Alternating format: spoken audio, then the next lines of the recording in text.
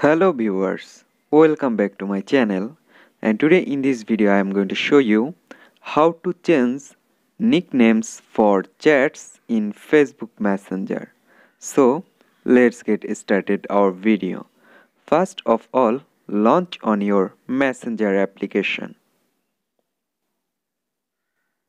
Okay, this is your Messenger and if you want to change any your nicknames or your nicknames for chats.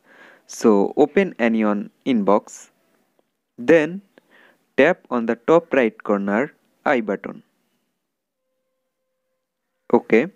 Then scroll down and you get here nicknames option. Look at this. Here have a nickname option. Just tap on this. And if you want to change your nicknames just tap on your and remove it and set your nickname. Then set it. Okay.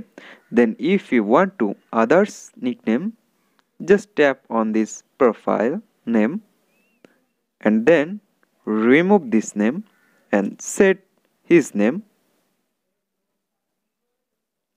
okay. Then set okay look at this. Both of them nickname are changed. Then let's back. And you get a notification on inbox. Your nickname changed and his nickname changed. So in this way you can change nicknames for chats on messenger. Hope guys this video can help you.